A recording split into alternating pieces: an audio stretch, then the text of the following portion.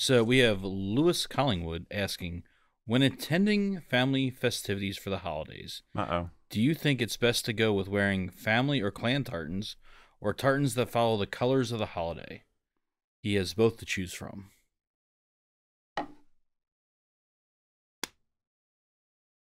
Yep. It depends on how uptight your family is. Yeah. Um, it depends on if it's. It, it- really, it depends on your mood. Um, if you're in a festive holiday mood and you want to wear your holiday sweater and your wife is going to wear a holiday sweater, um, then sure, wear holiday colors in your kilt if you happen to have a kilt with holiday colors. Um, if you're, you know, going to visit your great grandmom and she has, you know, you know, she's from Scotland and you know you want to say like, hey grandma, look, I'm repping the you know the family colors, the family tartan. Um, great, then wear your clan tartan. There's Mhm. no there's no hard and fast rule one way or the other. Um, if it means something to you, really that's what matters. Or if you know that it's going to mean something else, something to someone else in the family, um, then sure, do it for that reason. Yeah, or you can mix it up. I mean, or or other occasions like um, let's say you're going to midnight mass. You know, you might want to wear uh family tartan and look all gentlemanly and and and sharp for something like that. And then uh Christmas morning or you know going out caroling or something, you know, then you wear the more festive holiday color tartan. I think the only thing I would avoid would be making. I wouldn't want to combine them and clash. I mean, he's talking about tartans.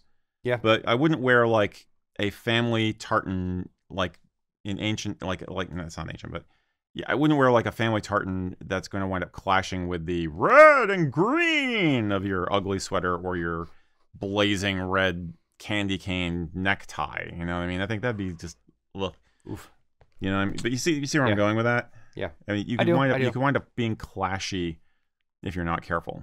Yeah. So Colton just uh, uh, made a comment that goes along those lines. Mhm. Imagine Loud McLeod with an ugly Christmas sweater. I'd rather not. um, exactly. Thank yeah. you, Colt. Yeah, that's exactly what I'm saying. Yeah.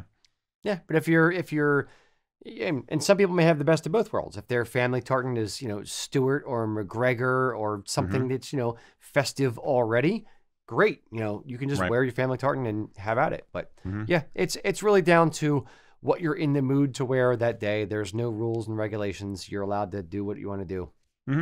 I'll say, and I'll say uh, another thing. Another point, minor point might be, uh, speaking as a pagan who has a lot of Jewish friends, red and green are not the only holiday colors.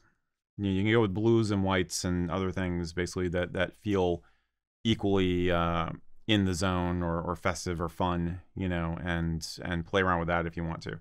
Um, I just don't don't have the kilt clash with the holiday flair and and but change it up. I mean, like if you're going to visit your family in New England for a week or something, then you take both kilts. Problem solved. Agreed? Yeah. So, whatever you do, however you celebrate, happy holidays.